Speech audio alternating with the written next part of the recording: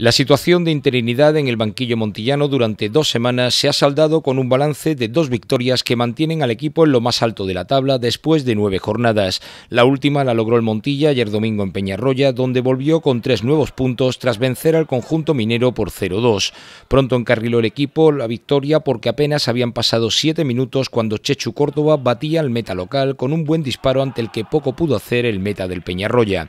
Con ventaja en el marcador, el Montilla administró el resultado jugando contra el rival, pero también contra el fuerte viento que hubo durante el partido. Tuvo que esperar hasta la recta final del choque para sentenciarlo, aprovechando unas manos en el área de un defensor del Peñarroya que se encargaba de transformar Juan Gordón desde los 11 metros. Con las adversidades que hemos tenido durante la semana, con también más lesiones y, pocos efectivos que tenemos, por las circunstancias que, sabemos, eh, han dado el, dos de pecho, eh, se han sacrificado y teníamos nada más que un cambio para hacer.